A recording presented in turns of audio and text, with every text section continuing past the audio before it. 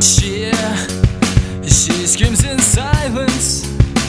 A solo riot penetrating through her mind. Waiting for her sign to smash the silence with a brick of self control.